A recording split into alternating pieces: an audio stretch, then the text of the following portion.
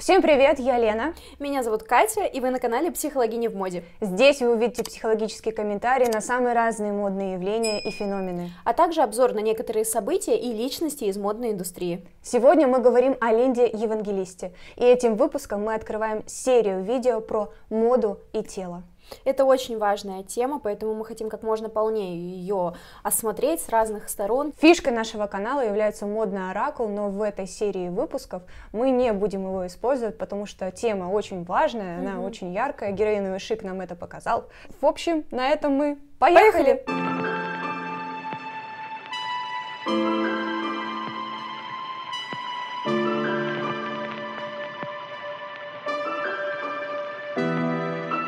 Итак, героиня нашего сегодняшнего выпуска родилась в Канаде в 1965 году в семье итальянских иммигрантов. В 15 лет она выиграла конкурс «Мисс Ниагара». А, на этом конкурсе был представитель модельного агентства «Элит», и он ее приметил и позвал к себе в Нью-Йорк. Постепенно-постепенно она вышла в топы э, модельной индустрии. Очень примечательно, что Питер Линдберг, когда э, она приняла участие у него в фотосессии, порекомендовал ей остричь волосы. Это был тогда нонсенс. Модели тогда не носили такие короткие стрижки. Да. Более того, она очень часто сменяла цвет волос, и за это она получила прозвище хамелеон. За 4 года она сменила цвет волос 17 раз. Я не знаю, как у нее не выпали волосы. Это фишка и ее такая интересная внешность, такие лисьи глазки. Mm-hmm. Это очень будоражило вообще общественность. Даже Карл Лагерфельд про mm-hmm. свое время про нее говорил о том, что она похожа на скрипку Страдивари, что она такая одновременно и натянутая, и расслабленная, и такая mm-hmm. трогательная, и жестокая. Да, в общем, в этом ее был секрет. Mm-hmm. Карл знал, о чем говорит, конечно. Она набрала свою популярность, и, наверное, пиком таким mm-hmm. ее популярности был 1989 год. Это обложка Vogue, который тоже снимал Питер Линдберг. На ней изображены пять супермоделей. И именно с этой обложки возникло такое понятие, как супермодель. Вообще мне понравилось, что в одном из интервью Питер Линдберг рассказывал о том, как он предложил э, Линде подстричься, э, что она пришла к нему на фотосессию, он говорит, слушай, если ты подстрижешься, ты будешь звездой.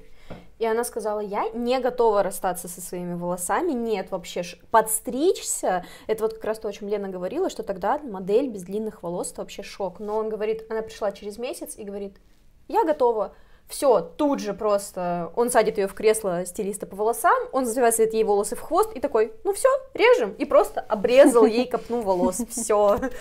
Ну, ее опасения были оправданы, потому что ее действительно не взяли на один миланский показ, но потом все равно как-то разгорелась. Разгорелась, да, и Питер Линдберг как-то прочувствовал, что вот именно эта стрижка сделает ее популярной и продвинет ее. Линда Евангелиста стала самой высокооплачиваемой моделью своего времени. И это именно ей приписывают фразу mm-hmm. о том, что я не стану а, меньше, чем за 10 тысяч долларов с кровати. Линда Евангелиста стала одной из первых, если вообще не первой, зависит от источника, кому начали платить высокие гонорары просто за то, чтобы эта женщина, эта модель появилась на каком-то мероприятии и порадовала всех своим присутствием.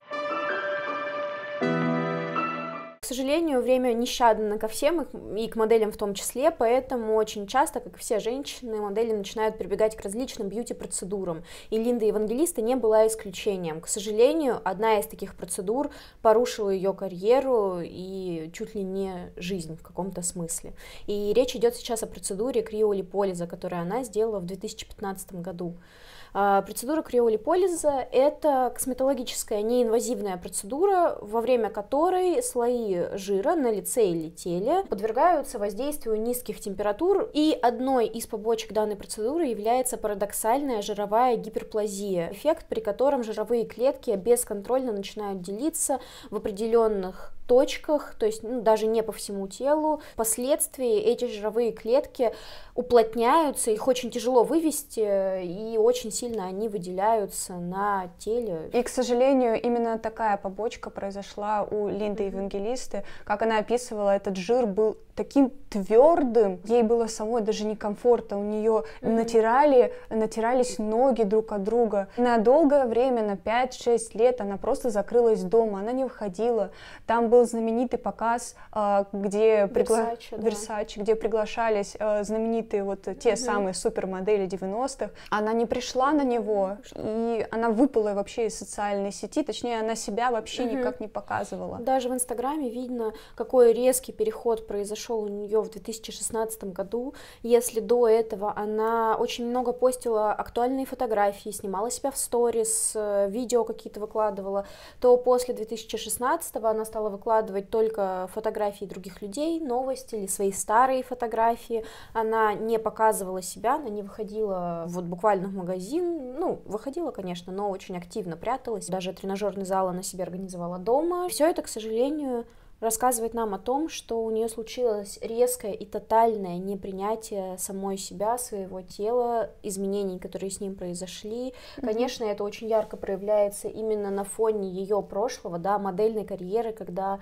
у тебя идеальное тело, весь мир знает тебя идеальной, и ты буквально не можешь отделить себя от своего прошлого образа. Ты не можешь смириться с новым, не можешь принять себя, не можешь принять даже, мне кажется, сам факт того, что твое тело может меняться меняться. Да, в 2022 году она поделилась э, своей историей, такой трагедией, а, и в журнале People вот как раз она ее поведала. Для, у нее потом произошла фотосессия для журнала Vogue, но у нас же в этом журнале она вся обмотана, она вся закрыта, чисто лицо, практически один только ракурс. Это вот тоже такой, не знаю, мне кажется, признак того, что она до сих пор себя mm-hmm. не принимает. Но она об этом еще тоже прямо говорит, что она, ей нужно учиться заново принимать себя. Она до сих пор это до конца не сделала. Хоть она открыла свою э, историю, но она еще в процессе mm-hmm. вот этого принятия себя. Да, потом она вышла на показе Фэнди, она закрывала этот показ в таком объемном платье цвета Тиффани,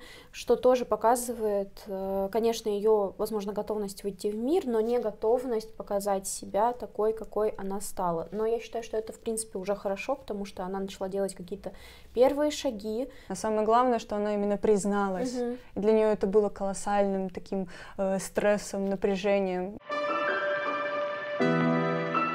История Линды Евангелиста, она очень показательна. В каком плане? Мода и тело неразрывно связаны. Одежда является основой нашей mm-hmm. социальной жизни. Одевая тело, мы как бы интегрируем mm-hmm. свою личность в общество, делаем его желанным. Ну, то есть желанным не в каком-то сексуальном плане, а в смысле желанным этому обществу. Mm-hmm. У нас есть определенные правила а, того, как нужно одеваться, правила, коды. И если ты им соответствуешь, то как бы все типа хорошо, mm-hmm. ты как бы в обществе. Ну, то есть если ты выйдешь голым, а, на улицу, это считается, ну, как минимум неприемлемо. Да. Вот, есть определенный дресс-код на работе, в каком-то вечере, мероприятии. В общем, и эти коды, и эти правила, они очень тесно взаимосвязаны с таким явлением, как мода. Потому да. что мода, она в частности дает тебе спектр вариаций того, как ты можешь выйти, как ты можешь показать себя в том числе.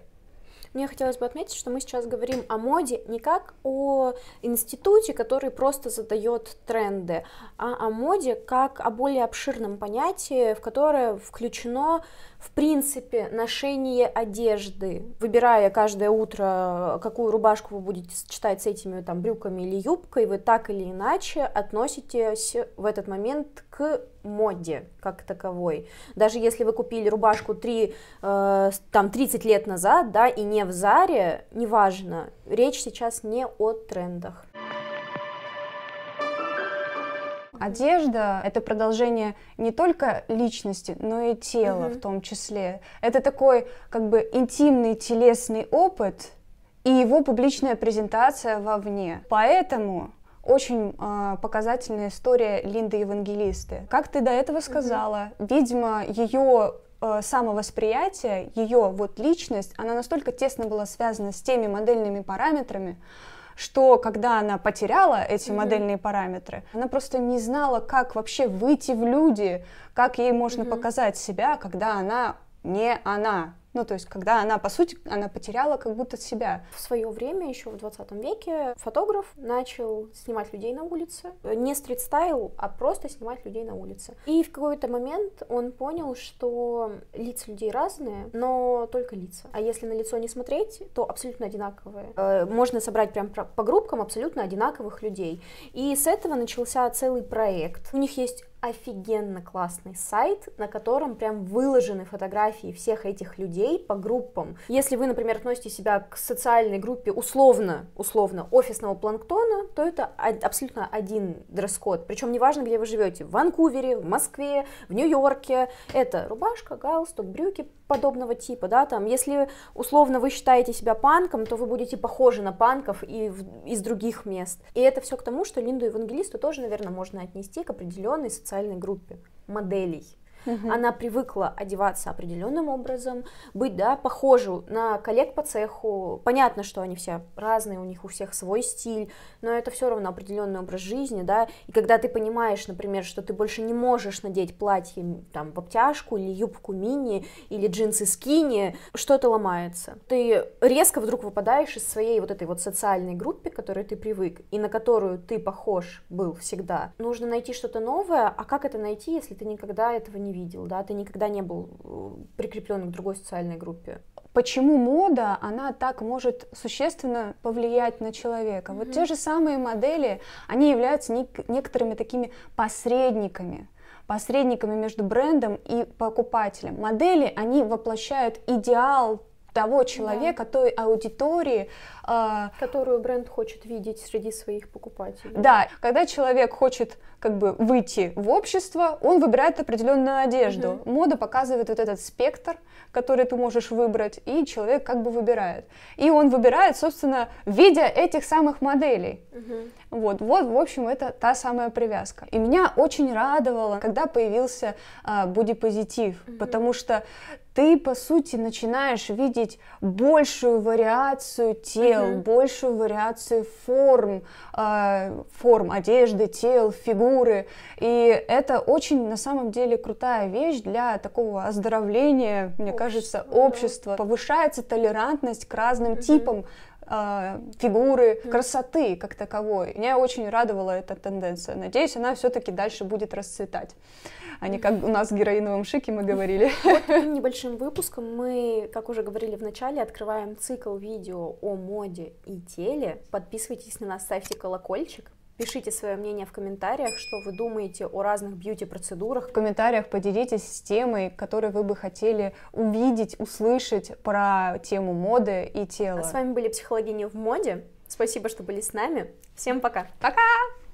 Самый пик карьеры Линды Евангелисты был 1890. Пиком карьеры Линды...